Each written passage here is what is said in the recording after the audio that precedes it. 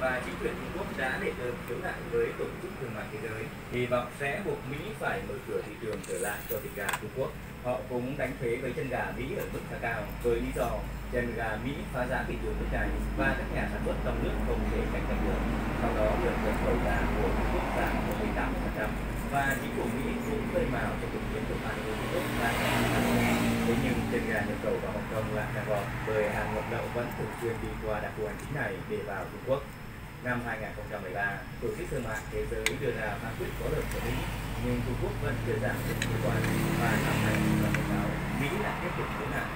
Về cơ bản, hai nước bắt đầu thực hiện một thỏa thuận cho phép tiếp cận thị trường mới đến. Một giải pháp tiềm năng được đưa ra là Trung Quốc giảm thuế nhập khẩu sản phẩm và Mỹ sẽ đồng ý nhập khẩu một số sản phẩm thịt gà từ Trung Quốc.